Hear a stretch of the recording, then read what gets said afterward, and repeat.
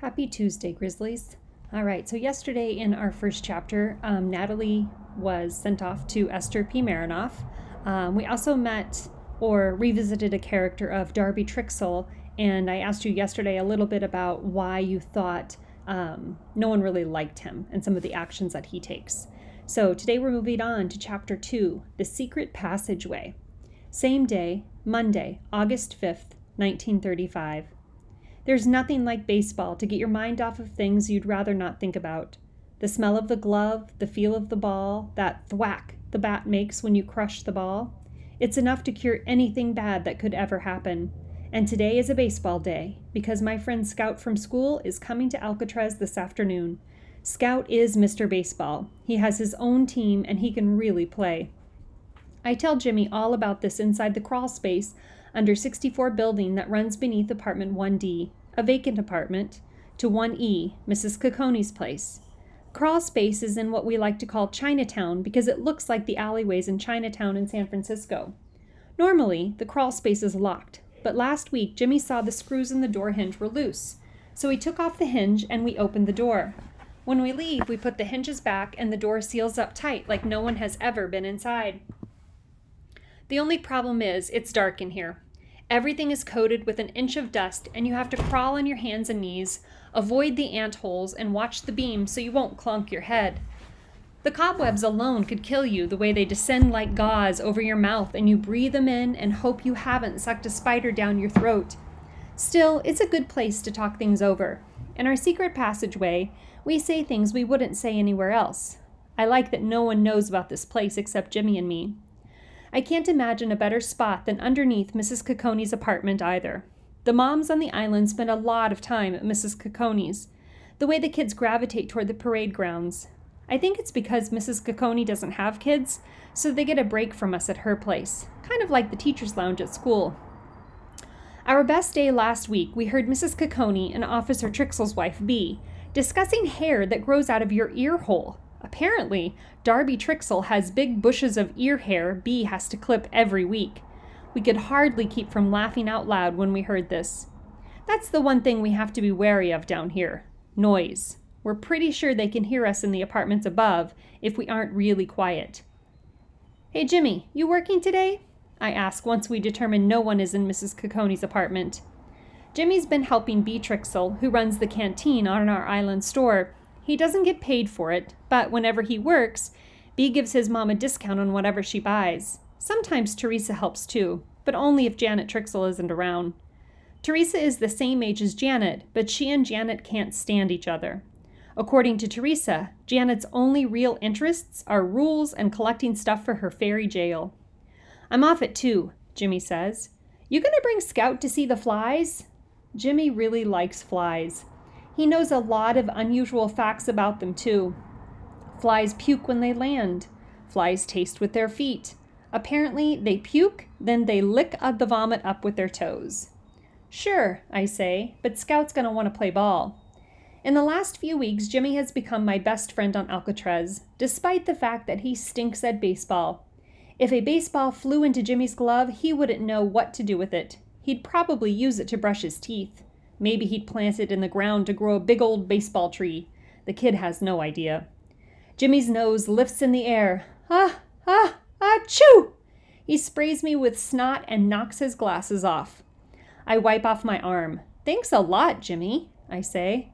Ah, ah, ah, chew! He sneezes again, but this time he turns his head away and gives the ants a bath instead of me. You want to play? he asks. Of course, I say. I always want you to play. Jimmy cocks his head as if he doesn't quite believe this. But Scout plays all the time. He's good, right? He's not great or anything. Jimmy grins. Oh, okay. Me neither. I don't know what to say to this. Even in our secret place, it seems better not to tell Jimmy that Scout's not great is so much better than his not great that it isn't fair to compare. Come on, let's go. I want to find Annie and get my arm warmed up before Scout gets here, I say. Crawling back, Jimmy picks his way slowly and carefully, stopping every time he has a question. Think Scout'll like my fly project? Jimmy's latest project is to teach flies tricks. He wants to hold a circus and charge admission. Course, I say. Jimmy starts moving forward, then he stops again. Think Scout will like me? Sure, I told him all about you. Jimmy considers this. Good, because I've got a new idea. I'm thinking the problem is quantity. I don't have enough flies. I sit back on my haunches and wait while Jimmy launches into a technical explanation of his breeding plans. There is no stopping Jimmy Mattaman when he gets talking about his flies. When he finally gets to the door, I scamper after him, covering the same ground in one third the time. You're fast, he observes. You're slow. I tell him as we press our ears against the frame to listen for unusual sounds, but it's all quiet. We crack open the door a few inches. Still nothing. We push it the rest of the way, and Jimmy, because he's smaller, pokes his head out. All clear, he whispers, and we jump down. Just as Jimmy finishes replacing the screws in the hinge, we hear footsteps on the old cement stairwell. Uh oh, I whisper as I spot shiny black guard shoes coming down. Thought you was working this morning, Jimmy, Darby bellows through his ever present bullhorn. Yes, sir, Jimmy says. Darby peers over the railing, but he can't see me because I'm getting the baseball gear I stashed in one of the storage rooms. What you doing down there? he asks Jimmy. Nothing, sir, Jimmy answers. Nothing, huh? Do I look like I was born yesterday, Jimmy? Darby asks. No, sir, Jimmy replies, skedaddling up the stairs. Jimmy doesn't say anything about me. He knows it's better if Darby doesn't see me. Darby hates me on account of I'm Natalie's brother. Natalie really bugs him. I stand quietly waiting for them to leave. When they're gone, I climb up to apartment 3H, Annie Bomini's place. Annie's the only kid on the whole island who's any good at baseball. What a shame she's a girl. I peer through the screen door, focusing on the wooden table in the Bomini's living room. It was made by the cons in the furniture shop that Annie's father runs. The Bominis have a lot of wood stuff, plus needlepoint everywhere. Needlepoint pillows, tablecloths, tissue holders, seat covers. Mrs. Bomini has a needlepoint toilet cover for every day of the week. I don't know why you need a Monday toilet seat cover on Mondays. Is it that important to know what day it is when you do your business? Annie, come on, I call, hoping Mrs. Bomini isn't around. Mrs. Bomini is a one woman talking machine. Once she gets you cornered, you pretty much have to have a heart attack and be carried away on a stretcher before she'll stop. Annie's skin is pale, and her hair is so blonde it's almost white. She looks 12, but kind of old too, like 42. She's squarish from head to foot, like God used a T square to assemble her. Annie props open the screen door with her foot. foot. Moose, she gulps, her big flat face looking pinched today. You won't believe what happened. Uh oh, what if she doesn't want to play? That's the trouble with girls. They have to actually feel like playing. What happened? I ask. We got the wrong laundry. We got yours, she whispers. Laundry. That is the one word I don't feel like hearing right now. Ever since I got that note from Al Capone, I've been very careful to be the first person to get my laundry in case he decides to send another note. My mom hasn't even noticed. Why, you're taking care of your own laundry now, Moose. Isn't that nice? My mom said. So, just give it back. I try to keep my voice from sounding as panicky as I feel. I didn't realize it was your laundry. I started putting it away and. Moose, there was a note in the pocket of your shirt. A, a note? My voice break, breaks high like a girl's. My hands shake as she gives me a scrap of paper folded twice. My mind floods with things I don't want to think about. Al Capone, the warden's office, Natalie being thrown out of school. The note is written on the same paper in the same handwriting as the other one. Your turn, it says. My face feels hot and sweaty, then cold and clammy. I check the back and then the front again for any other words and stuff the note in my pocket. Annie's blue eyes bulge. Your turn? What's it your turn for, Moose?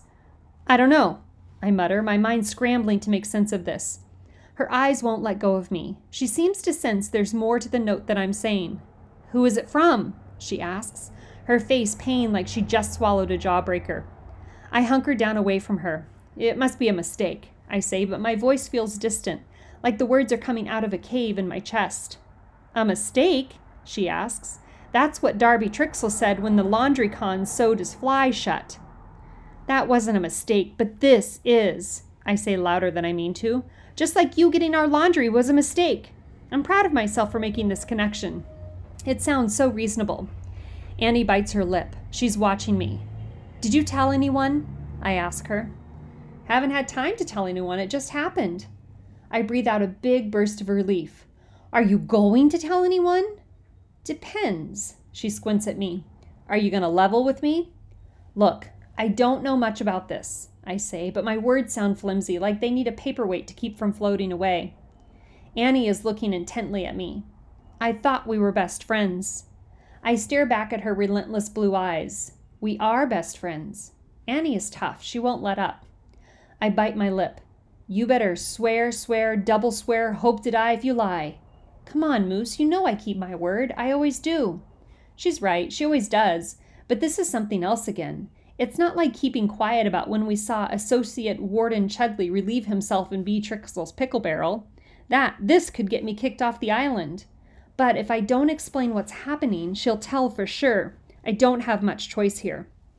I asked Capone for help to get Natalie into the Esther P. Marinoff school, and then she got in, and he sent me a note that said, Done. I can't get the words out fast enough. You what? She snaps, her chin jutting out with the shock of what I've just said. I explain again, slower this time. And then what happened? After the note? Annie demands. Nothing happened after the note. So Natalie went to school today because Capone got her in and you never told anyone, and then you get this your turn note? That's the truth? You swear it? It's the truth, except somebody else knows a little. Piper. She knows I sent Capone a letter. When Nat got in, she asked me about it, but I told her it was because the Esther P. Marinoff opened a school for older kids. That's what they told my parents. That's the reason they think she got in too. That's not the only thing Piper knows that I wish she didn't. She also knows that my sister made friends with convict number 105. Having your sister who isn't right in the head befriend a grown man convicted of a terrible crime isn't my idea of fun. In fact, I'd rather run buck naked down California Street than have that happen again. But that's a whole other story I hope to never tell. Alcatraz 105, aka Onion, got sent to Terminal Island and then released, so he's not on Alcatraz anymore. I don't have to worry about him ever again. But no one knows about Capone's notes? Nope. You know what he wants, don't you? Annie whispers. Payback. But how would he even know Natalie left today? I ask weakly. She frowns. Cons know everything that happens on this island. You know that. Yeah, but why didn't he say what he wanted? If it had been me, I would have asked for double chocolate brownies with no nuts, the sports page, the funny papers, vanilla sucking candy, french fries, a cheeseburger, a book on the babe. He didn't ask for anything, Annie. He wants to make you sweat, Annie says. He's the cat and you're the mouse. Back home in Omaha, we had a barn cat who would get a mouse, play with it for a few hours, then take it off to a dark corner and eat the head off. So nice of you to put it that way. I growl. Annie nods, ignoring my sarcasm. It's true and you know it. You sure this is the o- this is only the second note? Of course I'm sure. I snap at her. Her blue eyes have gone watchful now. This is serious, Moose. You think I don't know that? So, what are you going to do? I mean, if anyone found out you did a favor for Capone, your dad would be fired. She snaps her fingers. Like that. Any more good news for me? And you know what else? If Capone got Natalie into the Esther P. Marinoff, he could get her kicked out too. She crosses her arms. You're cooked either way, Moose. Thanks, Annie. That just makes me feel that makes me feel just great, I whisper. Annie shrugs. Well, it's true. Look, Annie, this is good news. I try to make my voice sound as if I believe what I'm saying, because really, he didn't ask for anything. She shakes her head. Don't be a fool, Moose. You should have told before. We have to tell now. No ifs, ands, or buts about it. You just said yourself if he got her in, he could get her kicked out. I'm practically shouting. If Nat, it's Nat's life we're talking about. This school is her chance. You're crazy if you help Al Capone. I'm not helping him. She sighs, bites her bottom lip. I shouldn't have promised not to say anything. Yeah, but you did promise. She bugs her eyes out at me. I know, okay? Look, this isn't about you. Can't you just pretend you didn't find the note? I'm pleading with her now. I'm not good at pretending. You swore, Annie. I know, Annie growls. I feel the stitches on the baseball in my hand, and I think back to the last year when we lived in Santa Monica and my Gram helped us with Natalie. Things were better back then. It's too hard here with just my mom, my dad, and me. So, are we going to play ball? I whisper.